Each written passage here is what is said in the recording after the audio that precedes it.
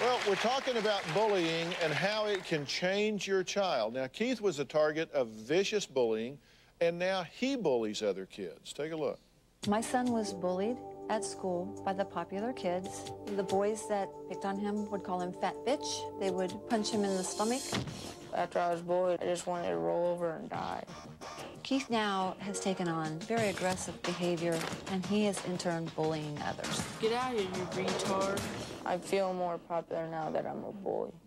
Bullying makes me feel good because I'm getting the revenge and unleashing the anger that once was on me. When he can order people around, he feels like that's making him powerful.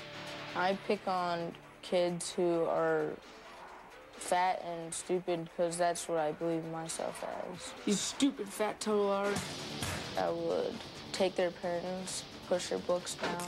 I would push them, make fun of them, call them names. Around a month ago, Keith insinuated that he hoped that I would die and said maybe he could see to it that that would happen. When I threaten my mom, I don't actually plan on doing anything. No mother who loves their son wants to think that their son would like her dead. I'm scared if Keith continues down the path he's on, he may harm somebody.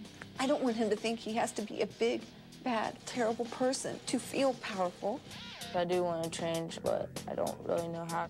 Dr. Phil, how can I help my son stop feeling like he needs to be a bully?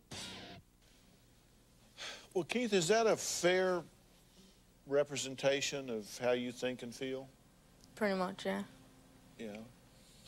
Um, as you sit there and look at it, what's your reaction to that? I pretty sad because I'm destroying others' lives by picking on them. But you said it makes you feel good when you do it. Tell me about that.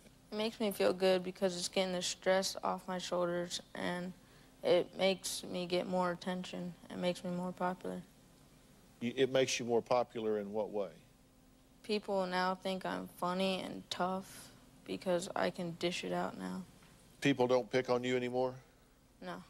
What if you decided to make some really good friends by being a kind person and taking up for kids and supporting other kids instead of being the bully?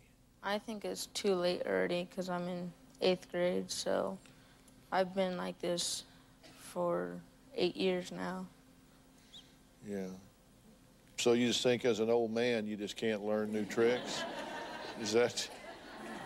It's never too late. If you could write a script for your life, I know you don't think you can change, but if you could write a script for your life and it would just be the way you wanted it to be, what would that be? I want you to think about that while we take a break. We'll be right back.